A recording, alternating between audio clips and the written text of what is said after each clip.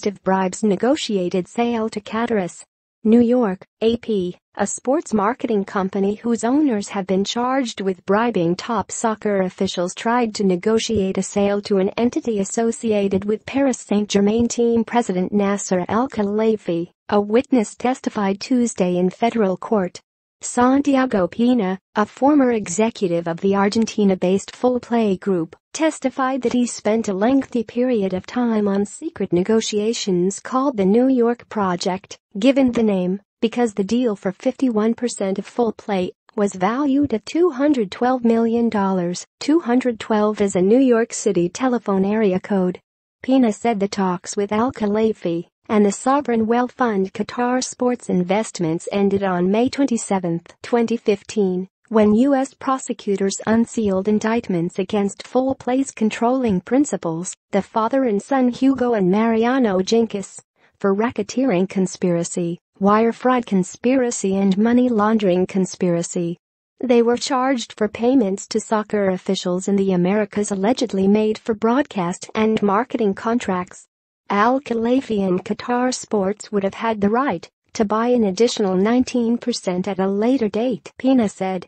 Al-Khelaifi is a criminal suspect in Switzerland for bribery linked to Qatar-owned beIN Sports broadcast agreements with FIFA for 2026 and 2030 World Cup rights in the Middle East and North Africa.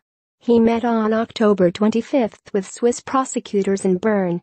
Pena said that only he Hugo and Mariano Jinkis and full play accountant Sergio Rabinovich were aware of the negotiations. Pena testified that after the indictments were made public, he deleted emails discussing the potential sale. I did it, in order to protect the company, he said. Hugo and Mariano Jinkis have not been extradited to the U.S., and Pena said they remain in Argentina. Pena reached an agreement this year with U.S. prosecutors to testify in exchange for not being charged. I always considered myself a completely small fish in this issue, he said.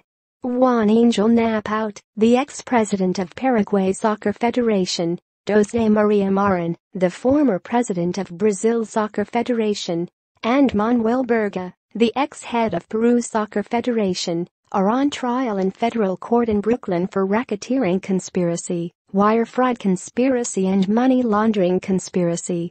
Pena, who worked for Full Play from 2009 to 15, testified about a ledger he kept of payments that the Jinkises directed be made to top soccer officials.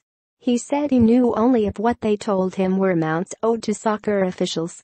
Pena said Napout was to be paid in cash, not by wire transfer, so he had no knowledge if any money was received.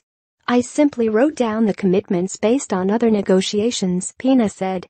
Pena completed testimony Tuesday and was followed by the stand by James Haggerty of Bank of America, who explained wire transfer records, and Daniel Huntley of Hilton Worldwide Holdings, who detailed Napout's reservation records. AP sports writer Graham Dunbar in Geneva contributed to this report.